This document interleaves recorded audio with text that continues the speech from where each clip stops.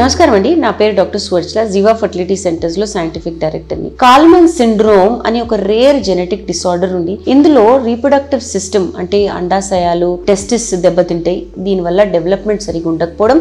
ఇదే కాకుండా sense of smell అంటే వీళ్ళకి వాసన కూడా ఉండదు ఈ జెనెటిక్ డిఫెక్ట్ ఉన్న వాళ్ళకి. దీన్ని హైపోగొనాడోట్రాఫిక్ హైపోగొనాడిజం డిసార్డర్ అంటారు.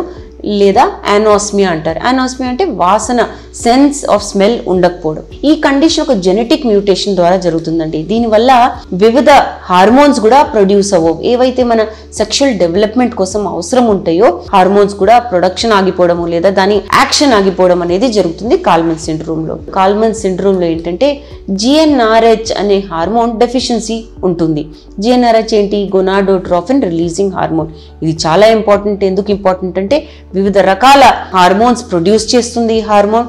ఈ హార్మోన్స్ ఏవైతే ప్రొడ్యూస్ అవుతున్నాయో సెక్షువల్ డెవలప్మెంట్ కోసం చాలా important luteinizing hormone follicle stimulating hormone ఇవన్నీ జిఎన్ఆర్హెచ్ ప్రొడ్యూస్ చేస్తుంది అనమాట జిఎన్ఆర్హెచ్ఏ తక్కువ ఉందనుకోండి అలాంటప్పుడు ఎల్హెచ్ఎఫ్ఎస్ సరిగా ఉండదు. ఎల్హెచ్ఎఫ్ఎస్హెచ్ తక్కువ ఉన్నప్పుడు ఏంటంటే వివిధ రకాల హార్మోన్స్ కూడా తక్కువ ఉంటాయి. ఎలాంటివి? టెస్టోస్టెరోన్ ఉండొచ్చు ఈస్ట్రోజన్ ఉండొచ్చు.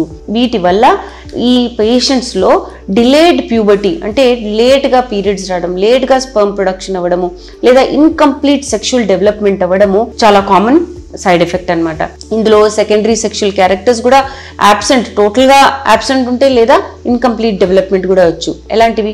బ్రెస్ట్ డెవలప్మెంట్ అవ్వకపోవడం ఆడోళ్ళలో మగవాళ్ళలో ఫేషియల్ హెయిర్ రాకపోవడం ఇలాంటివి ఉంటే ఇన్ వీటిలలో ఇవి కాకుండా కూడా సెన్స్ ఆఫ్ స్మెల్ ఉండకపోవడం ఉంటుంది. యానాస్మి అంటారు. ఇది ఎందుకు అవుతుందంటే బ్రెయిన్లో ఒక ఆల్ ఫ్యాక్టరీ బల్బ్ అని ఉంటుంది. ఆ బల్బ్ అబ్నార్మల్గా డెవలప్ అయింది అనుకోండి కాల్మన్ సిండ్రోమ్లో అప్పుడు సెన్స్ ఆఫ్ స్మెల్ ఉండదు.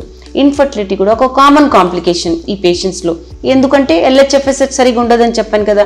దీనివల్ల ఆడోళ్ళలో అండం విడుదల అవ్వకపోవడం ఓవిలేషన్ ప్రాబ్లమ్స్ అవ్వడము పురుషుల్లో స్పామ్ ప్రొడక్షన్ అవ్వకపోవడం అవ్వకపోవడం అంటే టోటల్గా తగ్గిపోయి ఉండొచ్చు యాబ్సెంట్ ఉండొచ్చు లేదా చాలా తగ్గిపోయి ఉండొచ్చు. సో రెడ్యూస్డ్ అన్నా యాబ్సెంట్ అన్నా ఉంటుందన్నమాట. ఆడోళ్ళు అండం విడుదలవడంలో ప్రాబ్లం పురుషుల్లో స్పర్మ్ ప్రొడక్షన్లో ప్రాబ్లం సో దీనివల్ల కాల్మన్ సిండ్రోమ్ వాళ్ళకి న్యాచురల్గా ప్రెగ్నెన్సీ రావడం కొంచెం కష్టం అవుతుంది కానీ ట్రీట్మెంట్ ఆప్షన్స్ ఉన్నాయి. ట్రీట్మెంట్ పాటిస్తే సక్సెస్ఫుల్ ప్రెగ్నెన్సీ కూడా వస్తుంది. Treatments usually hormone replacement therapy ఉంటాయి. ఏ హార్మోన్స్ అయితే మిస్సింగ్ ఉన్నాయో ఎలాంటివంటే టెస్టోస్ట్రోన్ లాంటివి ఈస్ట్రోజన్ లాంటివి మిస్సింగ్ ఉన్న హార్మోన్స్ని మనం రీప్లేస్ చేసామనుకోండి ఎక్స్టర్నల్గా ఇచ్చామనుకోండి వాళ్ళకి ప్యూబర్టీ వచ్చే సెక్షువల్ డెవలప్మెంట్ అయ్యే ఛాన్సెస్ ఉంటాయి.